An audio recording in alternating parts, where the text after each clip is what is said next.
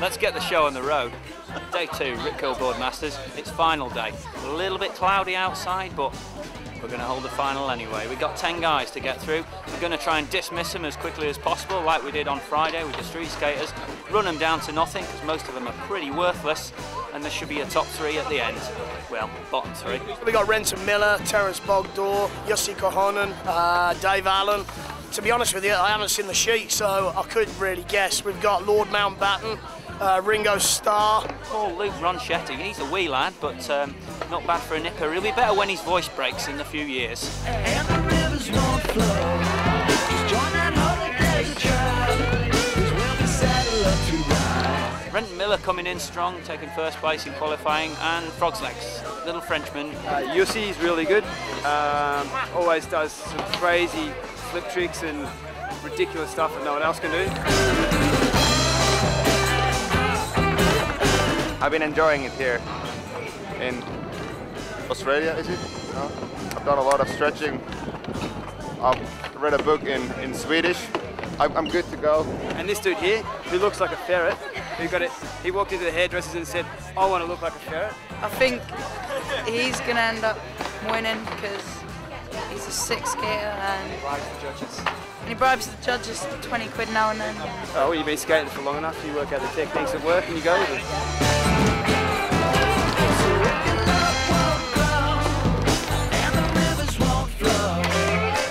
The, the wind, wind from hell makes uh, things very demanding.